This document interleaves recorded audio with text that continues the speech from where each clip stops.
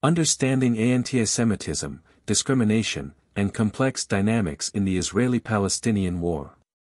Antisemitism is a complex and contentious issue, often involving a fine line between legitimate criticism and bigotry. To provide a comprehensive analysis, it's crucial to understand what antisemitism is and what it is not. What is antisemitism? Antisemitism refers to discrimination, prejudice, or hostility directed against Jewish individuals or communities based on their ethnicity, religion, or heritage. It can manifest in various forms, including stereotyping, portraying Jews with negative, harmful, or exaggerated stereotypes, such as the belief that they control the world's financial institutions. Conspiracy theories, propagating unfounded and harmful conspiracy theories about Jews, often blaming them for societal or global problems. Hate speech, using derogatory language, slurs, or hate speech against Jewish people, either online or in real life. Discrimination, denying Jews equal rights or opportunities because of their identity, as seen in employment discrimination, housing discrimination, or social exclusion.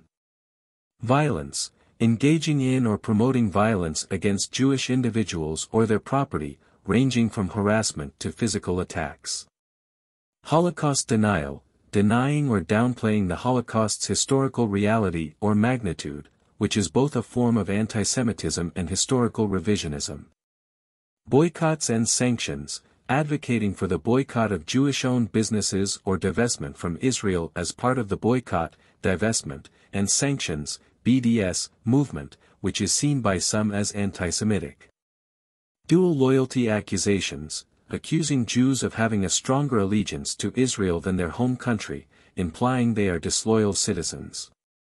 It is crucial to recognize that any form of discrimination, prejudice, or hostility directed against any group based on their ethnicity, religion, or heritage is wrong and should be condemned. This includes antisemitism, which targets Jewish individuals and communities, and any discrimination against Palestinians or any other group. We should remember that the Israeli government has been engaging in discriminatory practices, including employing anti-Semitic rhetoric against Palestinians. Accusations of dual loyalty, dehumanization, or any form of discrimination against Palestinians are also unacceptable and should be addressed. It is not appropriate for any party in a war, including the Israeli government or its supporters, to employ such tactics. The Israeli-Palestinian war is a deeply complex and sensitive issue, and it is essential to promote a fair, open, and respectful discussion that respects the rights, dignity, and perspectives of all parties involved. No one should be treated as if they have fewer rights or are less human based on their ethnicity, religion, or heritage. Laws and regulations should be in place to combat all forms of discrimination, whether it is antisemitism or any other type of bigotry, and they should apply to all individuals, regardless of their religious or ethnic background.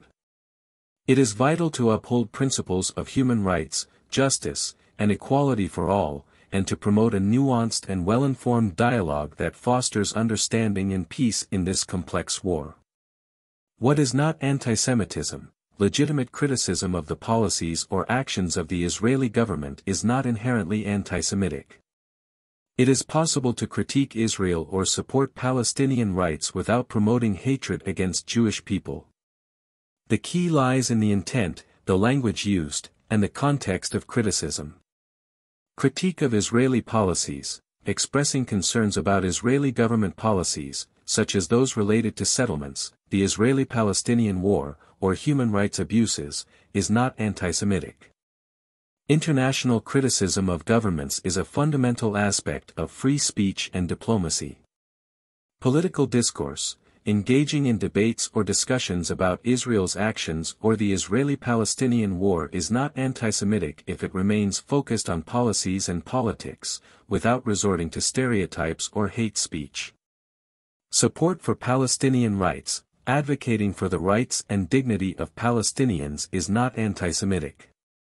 Many individuals and organizations promote peace, justice, and equality for both Israelis and Palestinians.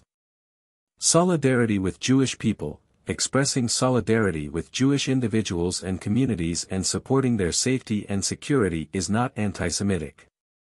Historical education, teaching or learning about the Holocaust, even if it highlights the horrors and atrocities committed, is not anti-Semitic.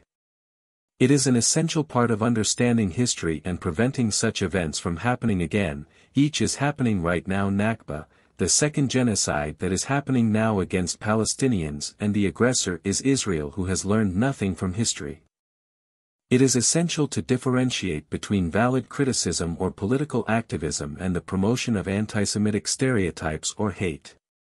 The context, language, and intent behind statements or actions are crucial in distinguishing between what constitutes antisemitism and what does not. Promoting respectful and informed discourse is the key to addressing these complex issues while upholding principles of tolerance and justice.